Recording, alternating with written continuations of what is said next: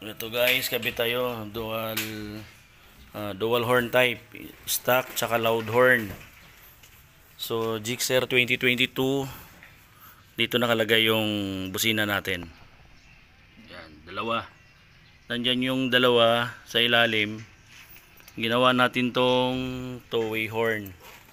So pwedeng stock horn, loud horn po pwede rin. So naglagay lang tayo ng tri-switch.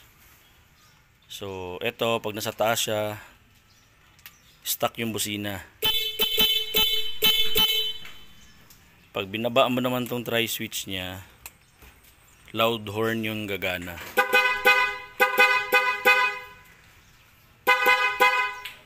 Yan. So, yung mga iba na kinakabahan na mag-renew dahil nagpalit ng busina, walang problema. So, nandyan pa rin yung stock mo. Lalagay lang ng tri-switch. Tapos may relay.